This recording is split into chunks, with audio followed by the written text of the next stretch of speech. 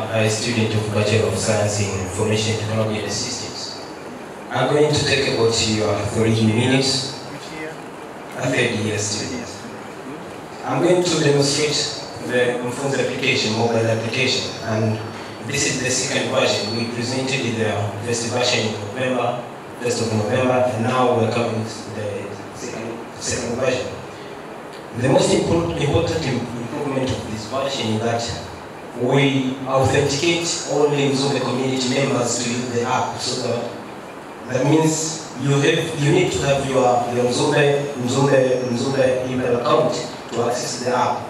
For example, I'm going to demonstrate here. I'm also Mwinuka, so I'm going to use my Mzumbe mail to log into the system. If you're going to use any email account, you're not going to, you're not going to use the app. Or from my name,